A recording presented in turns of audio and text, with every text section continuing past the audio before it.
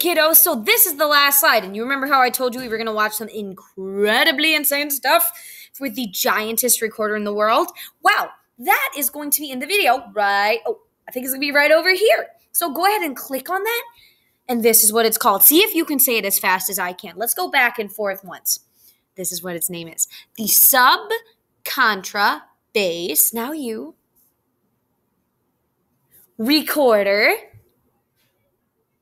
in B flat.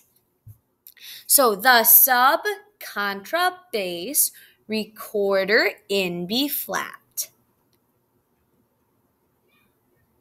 Now, see if you can say it as fast as I can. Are you ready? the sub contra bass recorder in B flat. Think you can say it that fast? Give it a shot. The sub contra bass recorder in B flat. All right, well, go ahead and watch that video and let's hear a little bit about the biggest recorder in the world. And then I will see you guys in a couple weeks. All right, guys, watch that video, fill out your Google slide, and I will see you another time. Bye.